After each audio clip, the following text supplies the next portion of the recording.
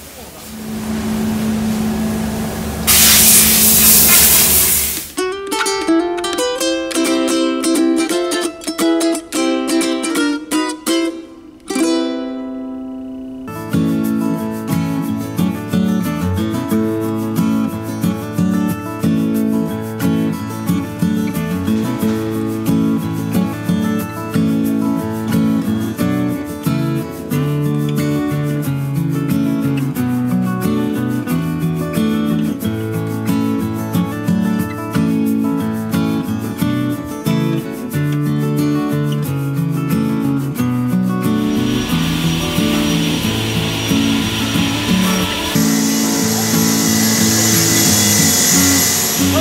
この中平らな板がこうあってはいはいあ二つにこうやって分けて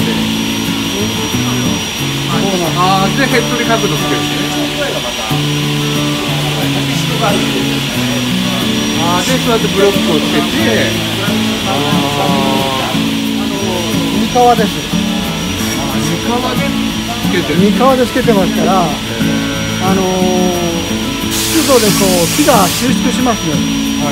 でこの接着剤も一緒に収縮してくれるんです。ですからは外れない取れない。これがもうすごいやっぱりことですね。いつもあの温度をこう気にしながら水の濃度濃度を変えて管理してます。ですから壊れないという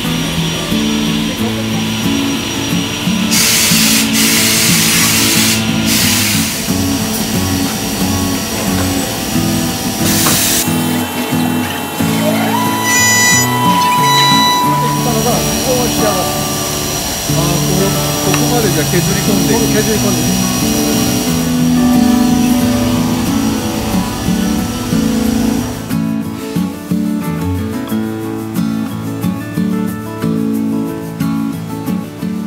ハワイアンコア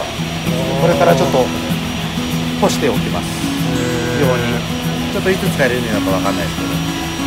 どのぐらい乾燥させるんですか？そうですね。もうあの状態で数年経ってるのでもうこの本番に近い状態からまあ半年は置いていきたいですかね。カーリーが入ってなければ比較的平気なんですけどカーリーはとにかくこう暴れるんで。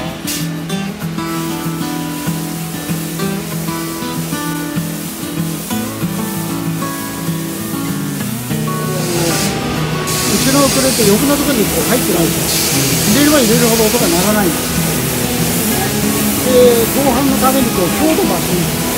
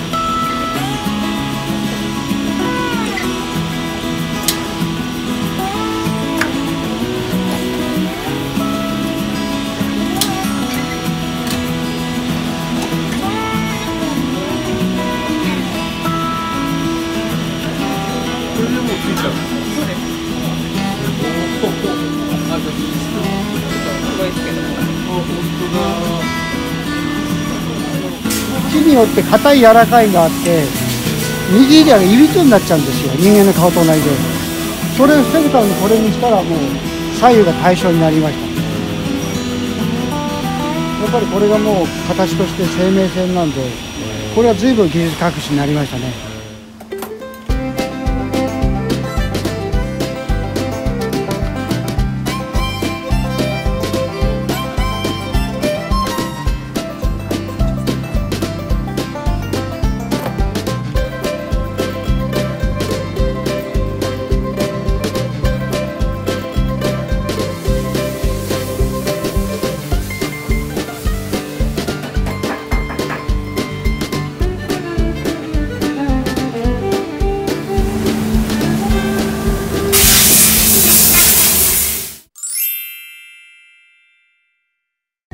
やでも本当ありがとうございます。いろいろ見させていただいて。えっ、とそもそもこうウクレレをやり始めた作り始めたきっかけとかって、はい、えーっともともと弊社あの昭和23年からはい。三葉工芸っていう会社が立ち上がりまして、はい。あの学校の教材用の卓上木器はいはいはいはい始まったんですね。はいはい。あこちらにあるよ。はいそうですそうです。それであの、まあ、何年かしてましてあの非常に困ったことが起きまして実はあの学校の子供さんに生徒にあの販売するもんですから夏休みの7月8月が売り上げがゼロになっちゃうんですね学校休みでああはいはいはいはいはい。それでやっぱり社員にも給料をお支払いしなきゃいけないってことがあってはじゃあ夏場何か売れるものを考えちゃいけないなってことでまあこの業界にいたもんですから、いはい。じゃあ夏はウクレレだと。ウあクレレを作ろうということで、まあ、ウクレレ技術を名古屋の音楽器屋さんに指導を受けながら制作が始まったと。そういう木木始め7年後昭和30年からも始まったんですね。ああそうなんですね、はあじゃあもうかれこれ。60数年経ちますね。はい。で当時はあの第一次のハワイアンブームだったもんですから、は作れば売れたと。いはいはい。でアメリカにもどんどん輸出したと。あもう日本から逆にアメリカに。アメリカに。だって1日100本ペースで作ったそうです。あそうですか。ですから月にだから2500本ぐらい作ったんですね。だからまあへ今考えたら数作っただけでやはり品質がっていうのはまた別の話でうん。ただそれたくさん作る技術っていうのはその時に培われた。うん。ということなんですね。で、まあ同時にあのその頃から木和屋さんとお付き合いが始まって、はまあ木和屋さんがフェイマスブランドを立ち上いはい。げて始まったんですね。おで、まあその当時からの合言葉が買いやすい値段のものでいい音の出るウクレレを作ろううんということが始まって、いまだにその信念を貫いている。うん。というようなことで。ですからあの高い機種はまあ他のメーカーさんにお任せして、やっぱりいかに効率よく作ってただなお音だけはこだわろうと。いうことで今も来てますねそういう技術が。こうやっぱり三つ葉楽器さんで作ってるこうなんかこうこだわりというかここだけはまあ違うみたいななんかポイントとかがあれば教えてそうですね、あのー他の、まあ、メーカーさんのを拝見すると確かに飾りがいっぱいあったり、まあ、かなりこう豪華に見えます。ただ音とは別の話で、まあ、でもこうお客さんにとってみたらそれも満足感の一つうんってことなんでしょうけど私どもの方はあくまでも音を追求する。うん。でたかがウクレレですけどやはり最終的にはいい音の鳴るウクレレ楽器っていうのをまず最優先で考えてます。ででその中にはやはりその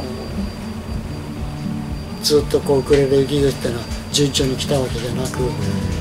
まあ、外国からエレキギターが入ってきてウクレレの売れない時代がありました、まあ、その時も日夜音の追求はずっとしていたということが今が息づいてるのかななんていう気がしますね。なるほど、は本当にあのウクレレ60年ずっとやってらして、はい。なんかこういろんなまあ正直ブームもあって、はい。最近のこう流れなんかどういうふうにこう考えてらっしゃるそうですね、あのーまあ、なんですか、一つ、今まで従来は、まあ、ハワイアンバンドの中の楽器という位置づけだったものが、一つの楽器として、うん。まあ、世の中に認められつつある、うん。ですから、ウクレレ一本で演奏ができる、そういう演奏家が増えてきたっていう。いうことを言えますので、あのただあの他の楽器と違ってあの、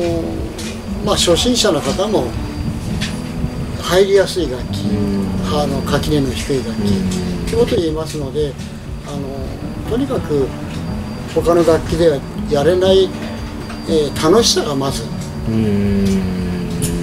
表面にこう感じていただけるってことが、まあ、ウクレレの良さでやっぱり時代とともに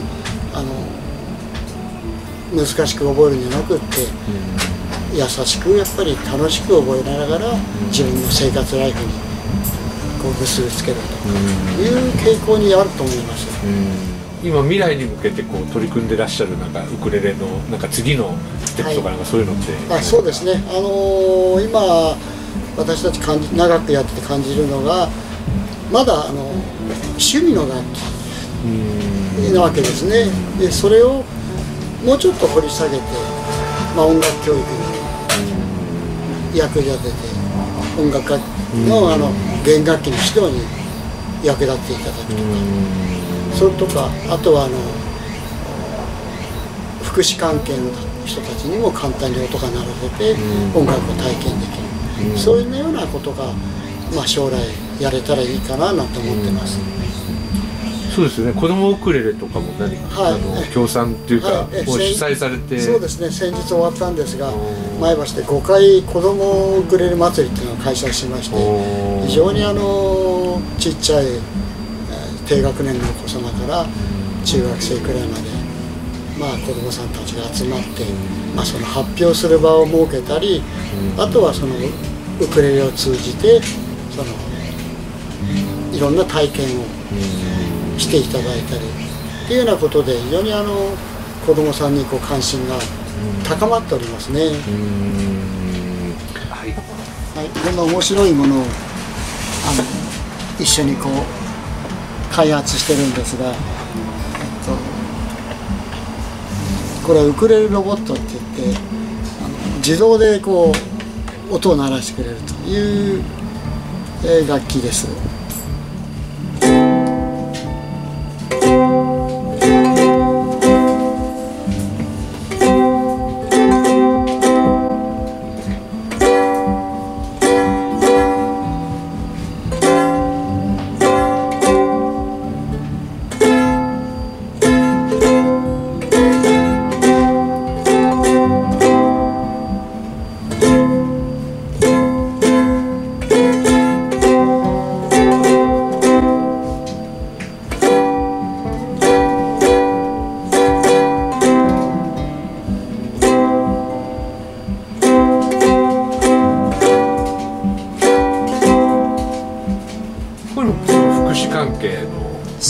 ですね。はい。見据えてみたいな、はい、あのープレートを使いまして。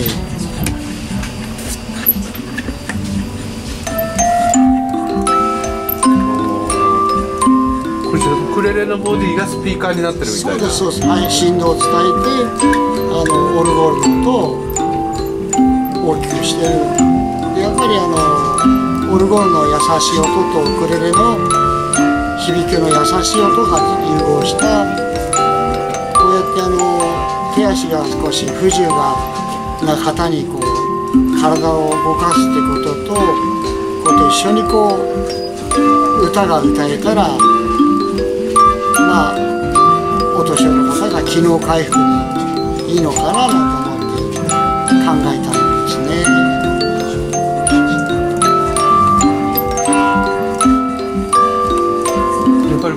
このウクレレのボディの木とかで音変わってくるんですねか、あのやっぱりボディによって音色が微妙に変わってきますね。これはマホガニっていう素材を使っておりますね。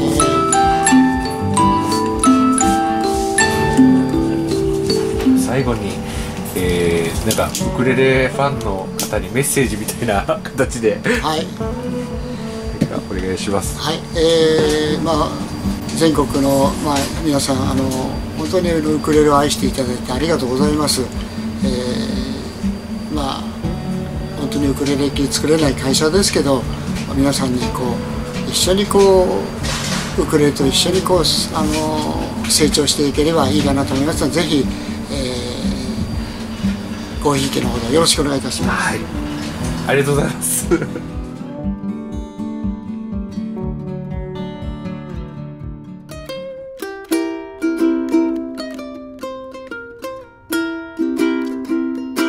今日も見てくれてありがとうございます。これからもウクレレ関係の動画たくさん上げていきます。ぜひチャンネル登録よろしくお願いいたします。マハロー